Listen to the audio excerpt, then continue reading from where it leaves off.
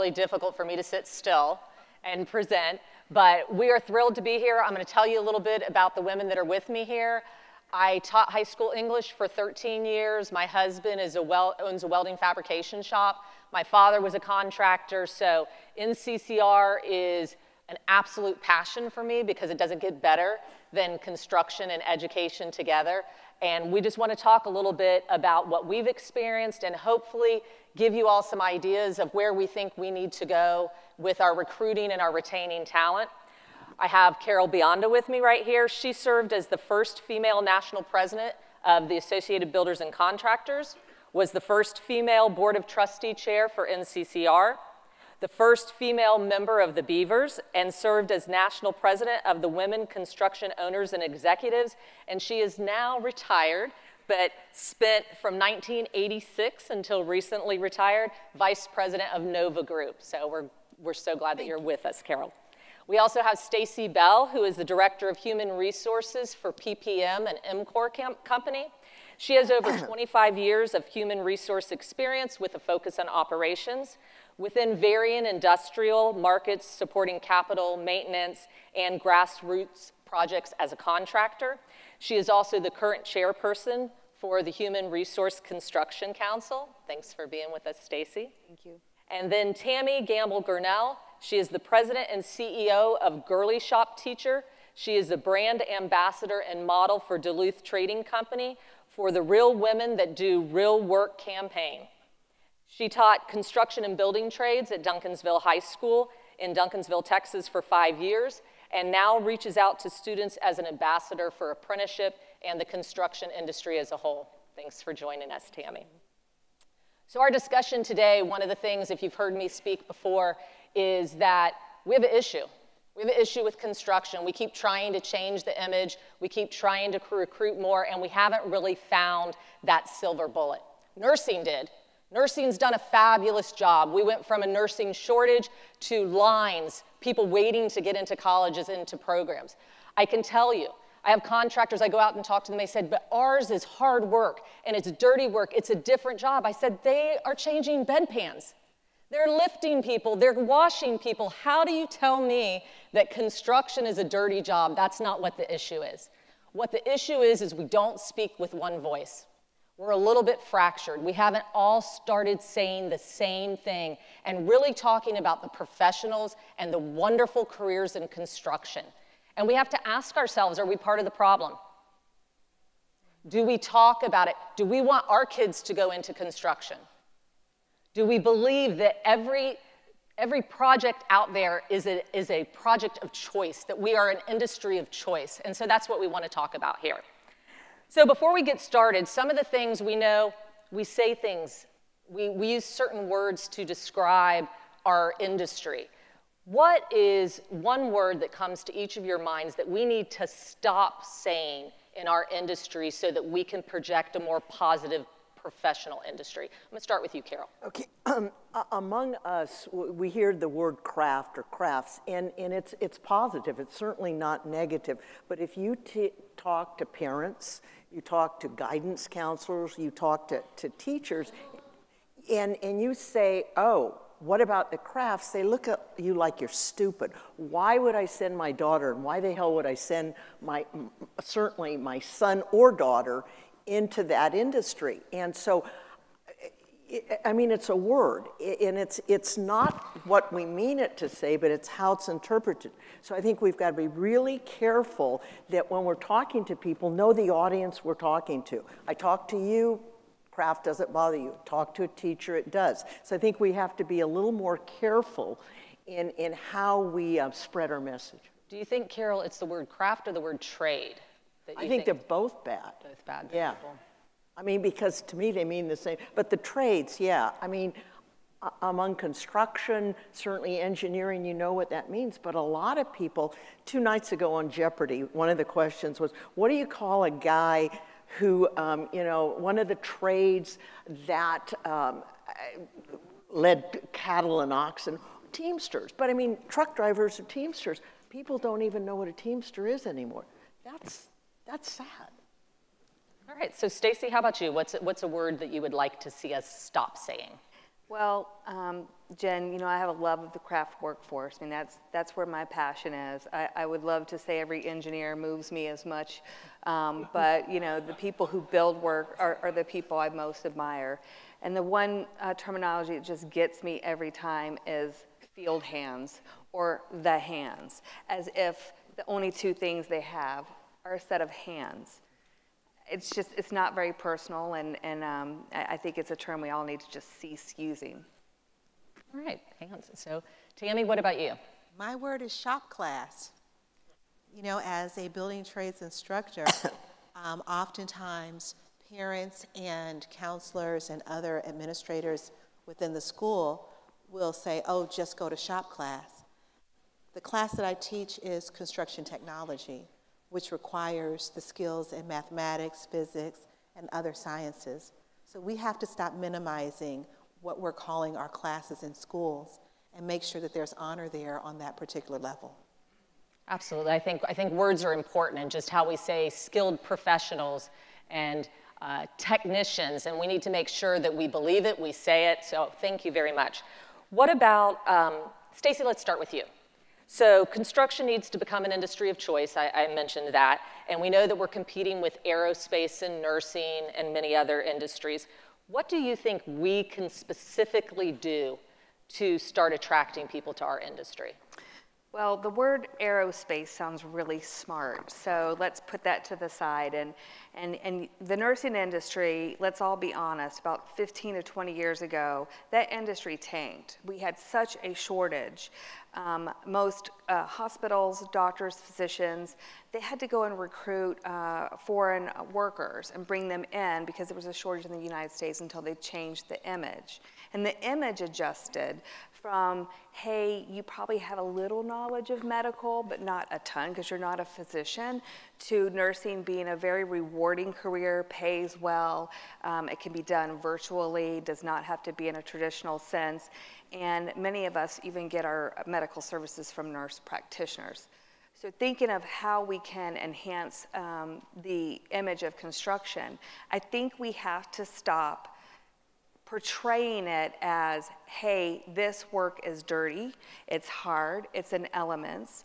Um, you have to have little education or, or knowledge, probably um, not that many skills. And we, we have a lot of focus on the physical stamina. What we don't do is we don't change that image to the mental um, skill and the intelligence that a craft professional actually has. Um, the mathematical skills one has to have. A pipe fitter needs to, to know trigonometry. They have to connect um, piping, and that piping has to have a tolerance for pressure inside of it. Electricians, you know, are, are using voltage calculations. Uh, everything I just described was not something physical. It was intelligence and it was skills. And until we, we change all the marketing materials and we take the focus off of, hey, you have to be apt and lift 50 pounds and work, you know, 12 hour days, and we describe it as the skills and intelligence and the creativity and working in teams, then it's always going to be portrayed as like, hey, it's a leftover career. Do you think, so you talk about describing it, and you had mentioned, so where all would we describe it besides marketing materials? I think we talked earlier about even in the job descriptions? Oh, yes. Uh, so, you know, Google, you know, uh, craft worker. I hate using that terminology, but, but Google it. You'll get some hits. Um, you know, a lot of the job boards we use, they'll describe it as, uh, you know, a lot of physical work, may need a, a, high school diploma, maybe a GED and some type of training, which is crazy. Even the Department of Labor sort of describes it as such. And then you look at the job descriptions when we post the jobs, we don't actually focus on what are the skills or the competencies. We focus on the schedule and how many pounds can you lift and um, you know the PPE that's required or the background or um, you know any of the safety requirements. And so our job descriptions aren't even aligning. They're not attractive. That's interesting. Tami, you, we had our conversations when we were talking about this, and you used the example of the banking industry. Can you tell us a little bit about what you brought to our attention that we didn't realize about the banking industry. Yes, I had the unique opportunity to tour a campus for Capital One. Uh, one of the uh, wonderful sponsors of my class is a top level executive for Capital One. And when touring their campus, they had the opportunities for employees to go out and do other things and learn other practices that they're able to bring back into their banks. Instead of having traditional bank locations, now they have banking cafes. So breaking the stereotype that construction is just a dirty work site and also giving the employees opportunities to bring themselves into the workforce. There's a beautiful young lady who uh, was a, had a passion for yoga, and when the young lady described that she had a, a desire to do yoga, they sent her to training so that she could become a trained yoga instructor and allowed her to have training classes inside of the cafe for banking. That is completely different than what we would normally think of from a banker, but yet she was able to bring her personal life into her work environment and then entice the community into her zone, which was banking. I like that's kind of interesting thinking about it that way. Mm -hmm. um, so, talking about you know doing some changes, industry of choice. What do you think the age, like what age should we start talking to kids about careers in construction? Do you think? I think easily three years old is when they can say construction. So let's go with age three. Um, I don't know how many of you all have had children in your lives, but they're pretty precocious at age three, and they're ready to try and experiment with any and everything. So I believe that putting tools in the hands of children at a very young age and getting them interested, even with a screwdriver, even with a little hammer, just getting them interested in the career and letting them know what you do is fun and interesting. You know, you can do so many things around your house with construction objects. How many of you all have floors that are laid with 12 by 12 tiles? You know, use those things and start to discuss and talk to them about square footage, about mathematics, about, you know, cubic feet when it comes to how much um, air that you need to pump into a room just to condition it. So there are all types of things that we have easily available. We're all sitting in a room right now, and there's a certain number of lights that are necessary just for us to be lit well. We have to start describing those things and making it known to our children that these buildings that we sit in often outlast ourselves. We leave legacies when we leave buildings. So let's get the legacies in the kids while they're little. Yeah, and talking about legacy made me think of even like Legos and stuff. You know, yes. kids love to build singing castles and with Legos, and then at some point we tell them stop building. So right, and and kind of crazy. Right, absolutely, we tell them to stop building, but then we also have opportunities with video games. Minecraft is an excellent example of how you can make building fun. We, if we are able to simply infuse some of the um, construction jobs as well as maybe some construction company names into video games, that would be e an easy way to entice the younger generation to even know that we exist. How many McDonald's signs do we see everywhere? How many signs do we see for you know, different restaurants, different video games, different movies. They're everywhere. But is the construction industry putting those signs up where they're easy to see? We have to have, what do we say, at least 13 impressions of something before we even notice it. So I know I'm jumping ahead a little bit, but okay. um, you know, we have to start putting the imagery out there and so that it's seen for our youth. Well, and I think along that line, uh, Tami, so when we talk about the kids, the individual kids, and we want to recruit them, and we got to start talking even as young as three years old, which I think is way younger than a lot of us thought that we needed to start talking about it. But what about the schools? You know, we career days have been around for a while, and we've talked about career days, but what, what are some other things in the schools and stuff that we could actually do to help out? So let me narrow it down to just three little ideas, okay, because I've got more than that. um, one of the things that has worked in my classroom setting is that I have career professionals that come and stop by our classroom frequently. Um, when the, I have a, a, a good friend that works for a major construction company, and he stops by the classroom at least once every two to three weeks, just for 30 minutes to pop in and say hello. That way he has an opportunity to infuse himself into our zone where the students start to feel comfortable with him and are able to ask him questions. A lot of times the career days, they're great, but when a student only sees you one time, they're a little bit timid to try to get to know you. So the more impressions that you can make by being in the environment is wonderful. An easy opportunity, if any of you all have uh, children in your lives, go to the local high school sporting events. Wear your company logos on your shirts. It entices conversation. You can also have your company maybe sponsor the food for the team after the game or before the game. Um, and then put maybe your banner up. I'm sure many of you all have banners. Raise your hands if you have company banners. Ask them to display your company banner uh, on the railing at the football game or at the basketball game or at the soccer game or the baseball game. And that way, that's another way for an impression to be made for your company. Is there something else you think they could do along with that? Because I know a lot of times, you know, you sponsor something. How is that going to translate into a potential hire one day? How do you think by putting your banners up? Putting your banners up allows for the impression to be made that you exist. A lot of times, kids don't even know that construction careers even exist. And so when they see a major construction company banner and they see a crane that's in the air or they're driving by a new build, they're able to put those connections together. And so that's how we can help with that. All right, also, Carole, you had mentioned that, that NOVA sponsored some competitions and things. Why don't you tell us a little bit about that?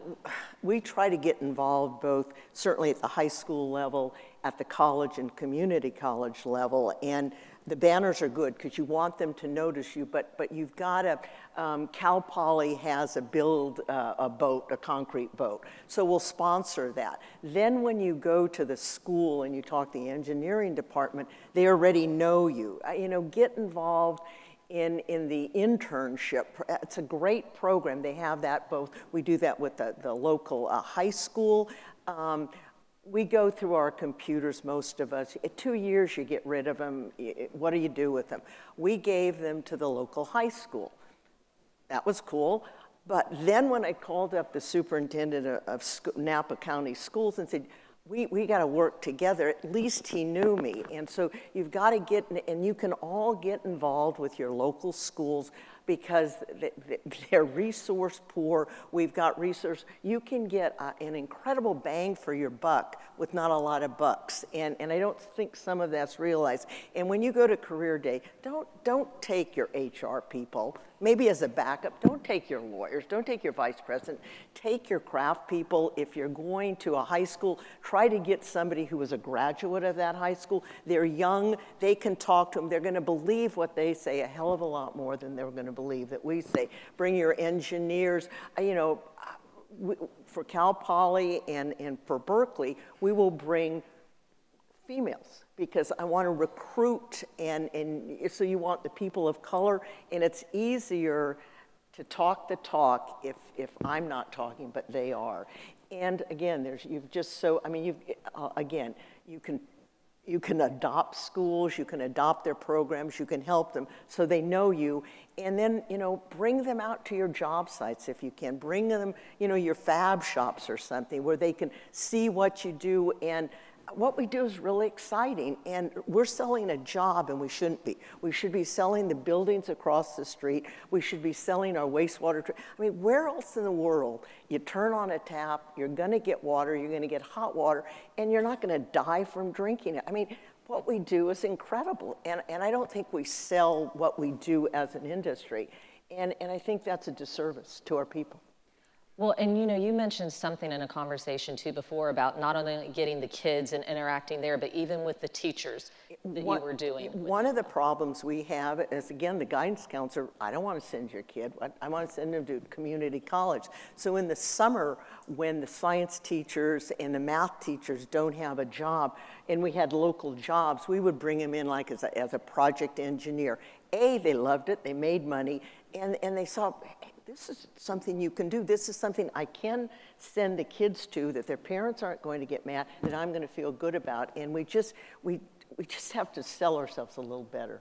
Yeah, I like that involved. I, I like getting the teachers involved, especially, you know, in the summertime because being a teacher, and Tami, you can agree with that. You know, money gets a little scarce sometimes when you're teaching. And so the summertime, I've heard quite a few contractors lately talking about hiring not only teachers in the summertime so that they get a better idea of construction, but even some counselors that they've hired and stuff, and even some at risk. In the high school programs, you have counselors that deal with at risk kids, and they were utilizing them to help new people coming in t- uh, with the contractor for them to get used to it and find out, you know, what makes them tick and how they can get them to stay.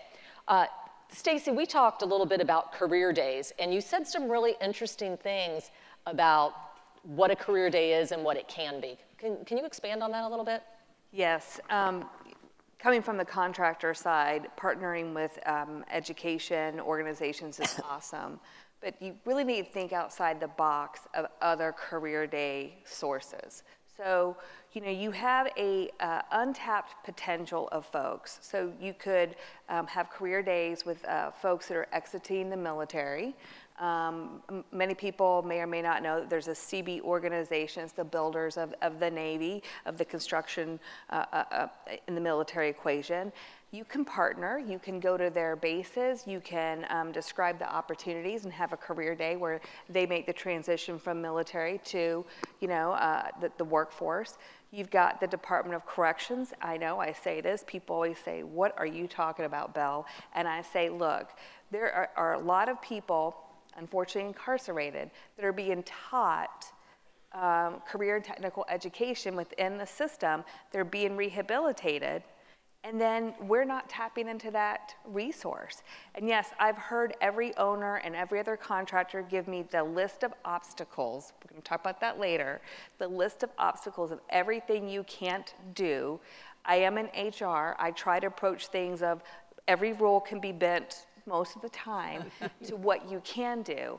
So, you know, if you have a partnership, if you have a client that you could convince, hey, listen, there's a workforce that we could tap into through the Department of Corrections, they're trained, they're rehabilitated, um, you have a background on them, you know where they came from, um, you know, why not use that resource? You also have voc rehab programs. You have women's shelters. You have religious organizations. Career days do not have to be at a high school or a technical school or a college. They can be anything within your community. We just don't tap into it. And then when we do, now I'm going to get on my HR you know, horse right now. How many times do we actually make a hire from those career days? And I challenge everybody in this room, you know, get with your HR partners, your recruiting partners, your operational partners. How many times do you have a career day and you hire none?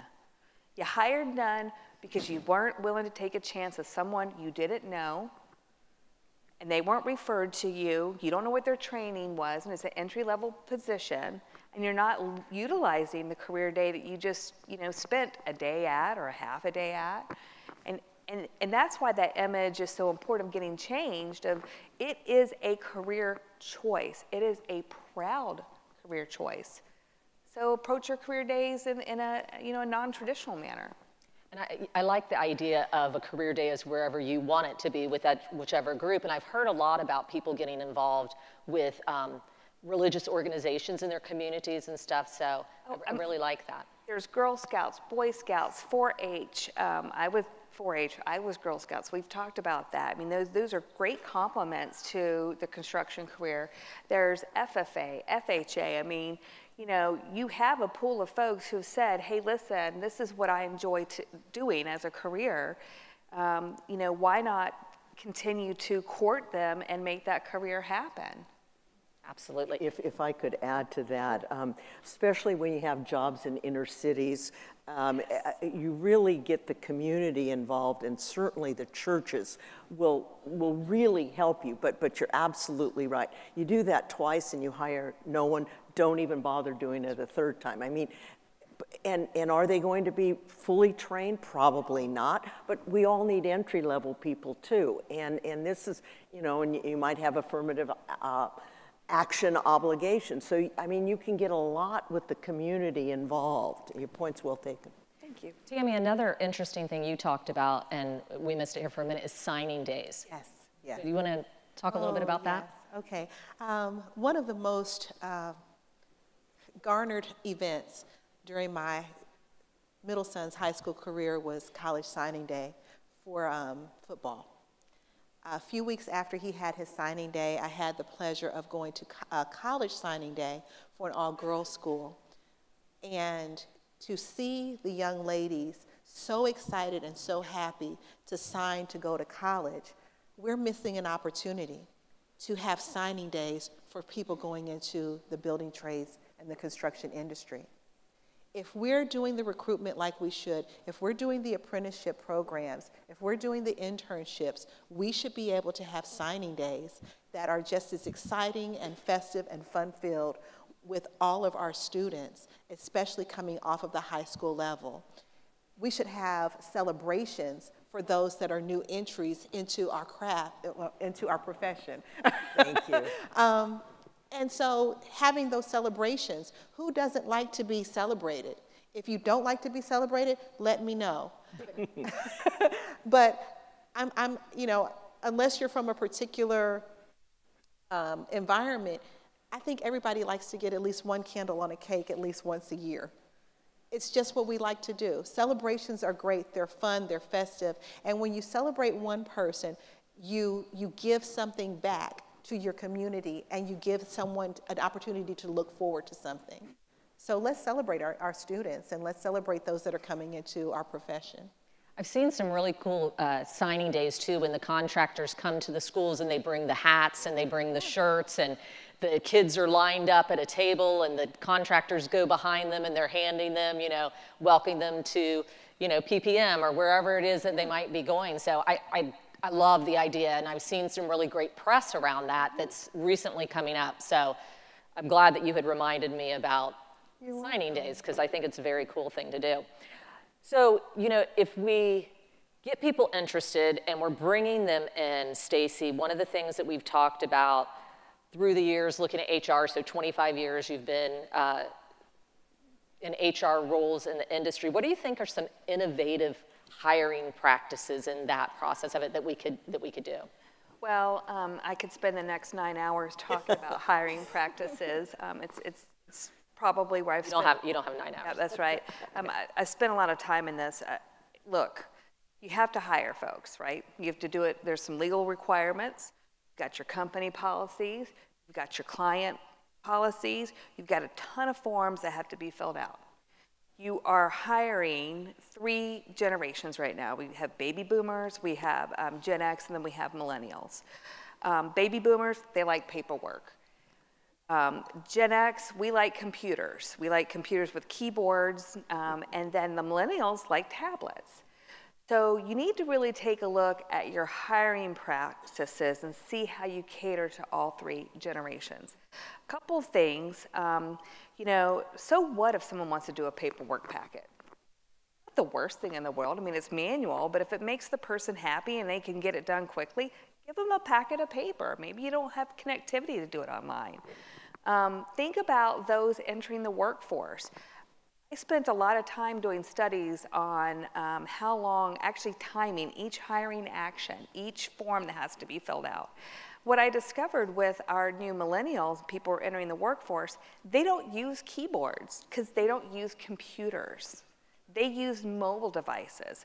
So then having an HR kiosk and asking them to fill out this paperwork with the shift key and the control key, things were locked up with the uppercase and lowercase and one, you know, character and a letter and can't be your first name and last name password requirements. You know, try to make your paperwork mobile enabled. Um, better yet, you know, you know you've got the, the customer, they want their people in production quick. They want their safety training done, they want the site training done, and hey, contractor, you better figure out how to do it all in about 60 minutes because the, the clock is ticking. So, you know, try to integrate your HR system any way that you can. If you are going through the candidate process, you have a first name, you have a last name. By now, I hope you have a social security number that's been shared with the recruiter. You have address, you have all those items. Why not populate your hiring forms over a mobile device and invite your folks to complete it. They could do it in advance, in advance voluntarily if you like. Um, they could do it at the job site. Um, what's the worst thing in the world if all your paperwork is electronic and you didn't have to have a paper file room or someone who scans it in? I know there's a lot of people out here that are still using the scan method um, and you're automating. But you got to make the hiring processes work for generations that, that are not our generations in most cases, but the, the people who are entering the workforce. Um, I'm telling you, it, you know, I could go on and on. I would also suggest, you know, I, I, have sent secret shoppers in to actually go through the application process. I have asked executives, hey, uh, one of our um, leadership meetings, um, I had everybody get out their mobile phone and apply for a pipe fitter job. Actually fill it out. They went through the steps. I needed them to know how easy it was or how hard it was. Look at the job description. Did it say what you um, wanted it to say? Is that your brand? Um, I've had executives say, I applied for this job and it was a terrible experience. It took me 35 minutes. I'm like, yes, go out and apply for the job. And then, and then have a secret person, candidate, hired in and have them go through the hiring process. See um, what you're telling your workforce, your precious commodity. Are you, are you saying, hey, welcome to the company? Are you making it easy? Or you just tell them, yeah, yeah, yeah, we'll get started in this trailer. We don't have any coffee or water, and the you know porta johns are outside, and everybody's like at the side of the trailer on their phone trying to find the other job. That's what really happens. So get to know your practices, get intimate, inspect them, go through the process, and remove the obstacles that are in place. You all have them, I still have them, and make improvements. And I'm telling you, you're hiring it'll go much more smoothly than what you've probably experienced so far. You talk about removing obstacles, and you gave us an example earlier when we were talking about um, a group that removes those obstacles. Can you tell, can you share yes. with the audience about that? You know, I am a proud uh, mother of uh, a combat engineer in the, in the, in the U.S. Um, Army National Guard who's also a police officer in the, the city of Seattle. And the one thing I think is so phenomenal is how the military does such a great job at removing the obstacles to get people to join. Their campaigns, if you look at their campaigns, they're lucrative, they're attractive. You know, they're, they're not, I mean, you're, you're um, you know, you're protecting your country, you're learning a skill. People don't come out of high school as a trained um, combat engineer or uh, a sniper or an infantryman um, or woman. So the military does a great job attracting people in, removing all the obstacles. Hey, we'll bring you in. You don't have to worry about anything. We'll go through this process. We'll interview you. You get selected. Hey, day one, we put you in training. Um, you don't have any gear, no worries. Here's a list of the things that you do need. Military does very good job of outlining what you do need, what the expectations are, and then removing those obstacles so that, you know, hey, this is great. I didn't know what I didn't know because, you know, no one uh, most people are not trained in the military before they join the military. They're probably a son or a daughter um, of a service person. But you know, the military does a phenomenal job of removing the obstacles.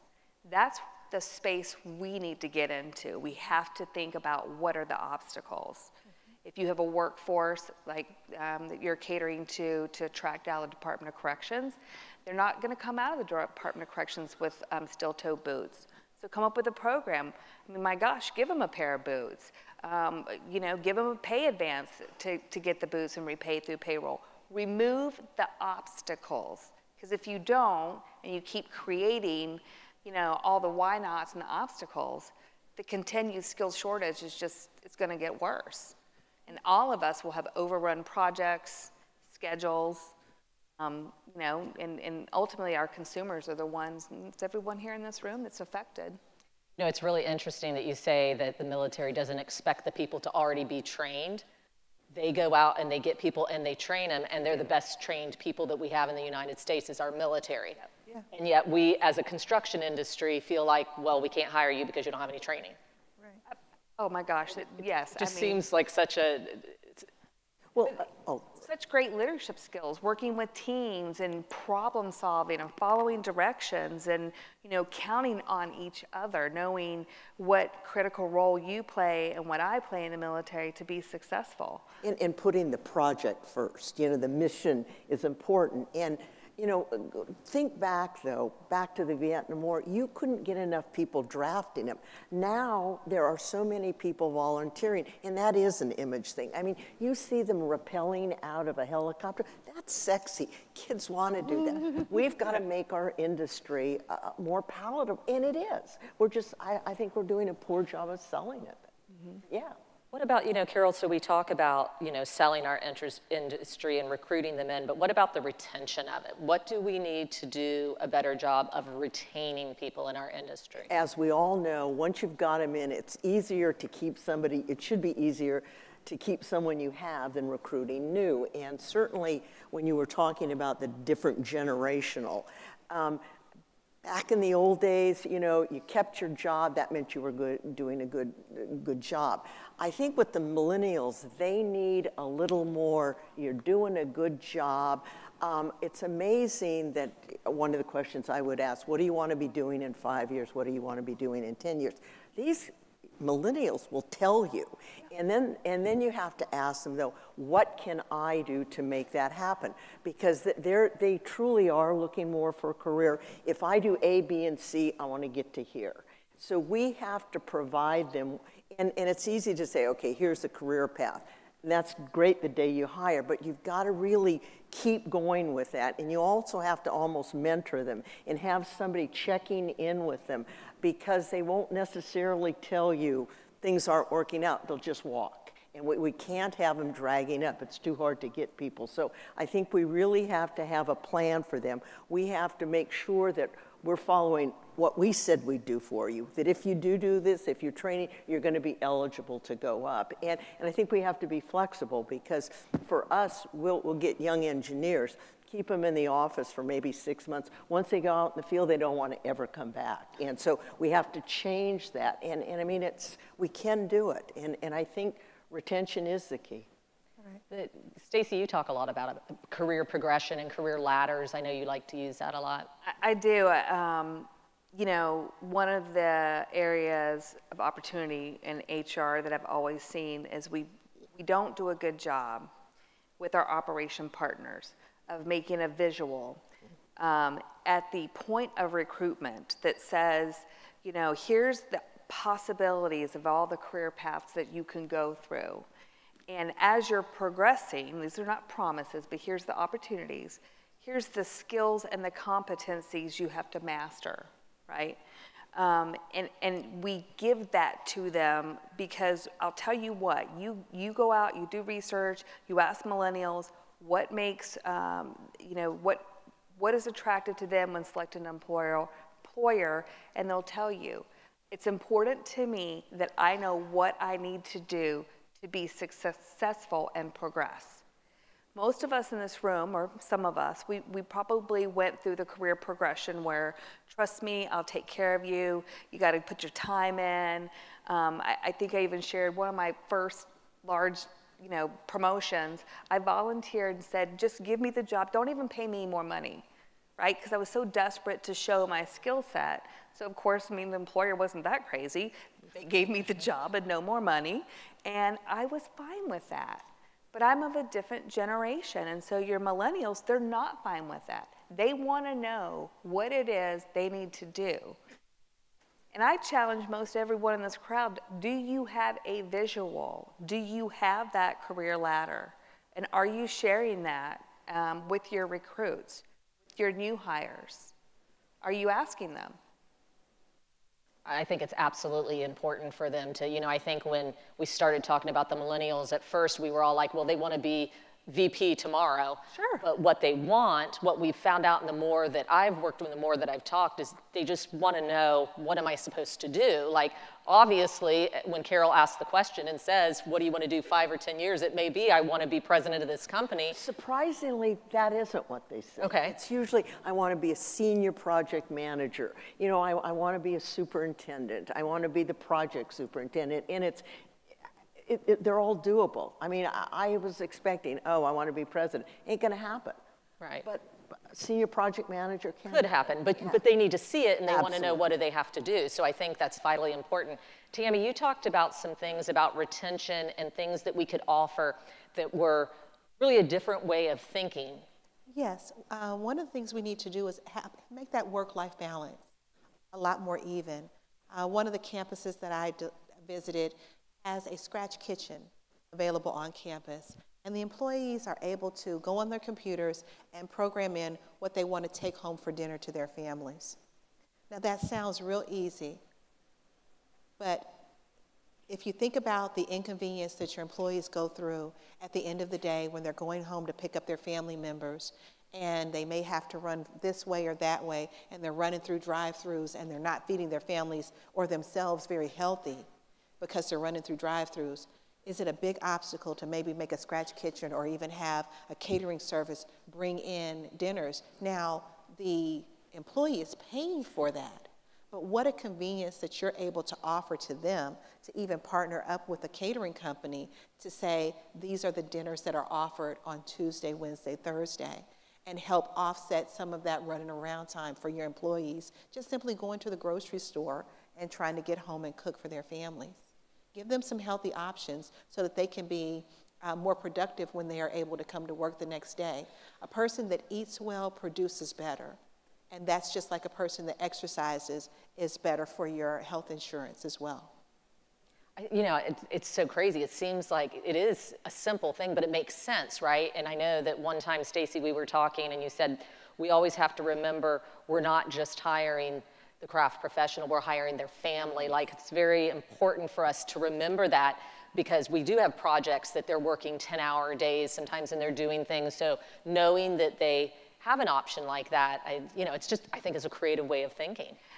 I, I agree. I mean, retention tactics do not have to always equate to pay and increase costs for everyone in this room. A simple thank you, you'd be surprised.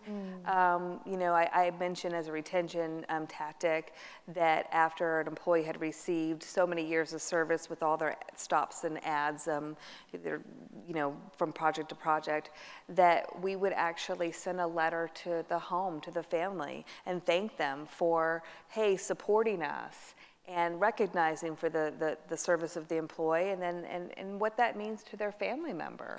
Um, you know, it costs it costs postage. It costs postage and, and printing. And um, you know, when when your workforce is making a choice, sometimes it's not all about pay. It's sometimes it's about opportunity. It's about how they feel about their employer. It's a lot about mentoring. It's a ton about good leadership and, and having leaders within your organization they're describing, you know, hey, my career ladder when I started was X, but yours, you have so much more opportunity is Y. I mean, th- those are small retention tactics that you can use. Acknowledgement alone. Thank you. I mean, just, it's, it's amazing what that can buy you, and, and we forget to do that. And it's so easy, and it's, it costs nothing. Right. I, I told Carole, you know, I, I try to get to know all the craft workforce. Again, I'm not giving the, um, I'm not trying to ignore the engineers in this room, but my passion is the, the, um, the craft professional. And so if I've had the opportunity to know their families, their children's or spouse's name, when I walk a job, I go and ask. I don't keep them away from productivity, so I'm not, you know, belaboring them for hours on end.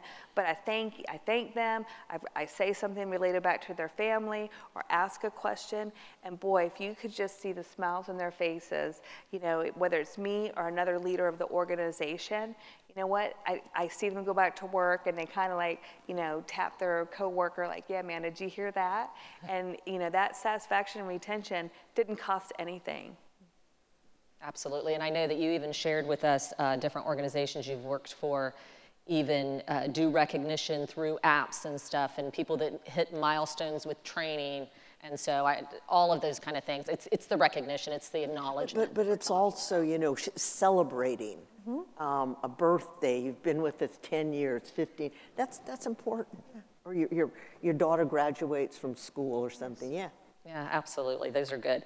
So as we wrap up here, um, we just talked about action steps that we felt like maybe that we could share, that each of you would maybe say something that you think this group, so when you leave here, when you go back, what is something, Carole, that you would like to share and say that's, that's something viable that the organizations could start enacting, even if not completing in the next month or two months or whatever it might be?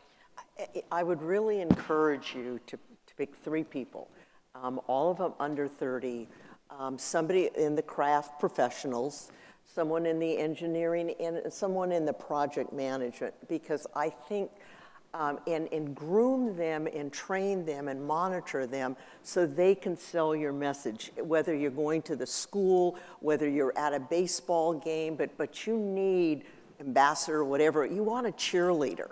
And that the people who are already doing it, the young people who are doing it, are so much more effective and, and, uh, and it costs you nothing and you're going to be recruiting people anyway. So if anything else, just go back to your offices and do something. Might not be right, then do something else. But we can't sit on our hands and do nothing when the Amazons of the world are offering, you know, all these really, not necessarily expensive, but these fun things. And it, we've just got to make it easier and more fun. Absolutely. I love the, the young people, choosing young people under 30. We talk about that all the time. Stacy, what about you? Um, you know, I would I encourage everyone to take a look at uh, an app. You know, having a company app focused at your um, craft professional workforce. Um, you know, the, people love apps, and you're you are uh, you can use an app that describes success of the project. Um, you can highlight employees. It's also very attractive to people who are not employees, potential customers and clients. Um, you can also um, share, used to be a company newsletter, right? So I'm saying move that to an app, um, tie that into your career um, site, uh, allow your employees or even potential candidates, allow them to highlight, you know, why, what would be the worst thing if they submitted something that they did great and you push that out to your app and your, um, you know, your potentials and your current people, they see this, they, they get empowered. Um, everybody just, it's, I can't emphasize enough the use of technology and thinking like the 20 year old. And that's hard for all of us, right? But wouldn't it be neat if you pull out your app and you say, oh, yeah, I worked for this company. Maybe they don't work for you anymore. And I built this, and I worked with this person, and here's all the great things I did. Oh, gosh, I, they just got this awarded. Shoot, I'm off a, a job right now. Maybe I can get back on with them. I mean, implement an app. Mm-hmm. And I think companies that, that help their employees feel connected see better retention because people don't know what they don't know that's going on with their company. They like that. They like that. And what about you, Tami? I think it's important that we also use technology, hashtags. I remember when I first heard build your hashtag, the little number sign that we're accustomed to calling on our phones, hashtag constructions fun, hashtag whatever your company name is, out in the community. Put hashtags, have your employees and encourage your employees in their personal lives to demonstrate the things that they do so that they're out in their social. It costs nothing for your employee to say something great about your company on their personal social medias page. Encourage that. Let other companies know that this is the greatest place to work by putting a hashtag. And that's something simple, it's absolutely free. Hashtag girly shop teacher. Grassroots all the way, right? That's what it is. Absolutely. So we're wrapping up. We're at the very end here. I will say that, you know, a lot of times we don't know what to say when we do these visits to schools and everything. One of the things that uh, NCCER prides itself on is its Build Your Future initiative, and we have even PowerPoints for young people to go in schools if you're a contractor wanting to talk to them or we have our BYF Today program that we've started with parents and teachers and counselors and doing things. So lots of resources there. The ladies, hopefully you're going to join us in the Innovative Showcase and we'll be in there at the NCCER booth. So if there's questions, but hopefully there's something that each of you can take away. I think being creative right now and coming up with new things, the best thing you could probably do is go and find the youngest people at your company and ask them what they think you should be doing. Is we can come up all day long with things, but really that's where we need to be. Uh, we're, all we're all suffering from the shortage, and so we have to be proactive and do that. So thank you very much. We appreciate your time, and come by and see us at the booth. All right, thank you.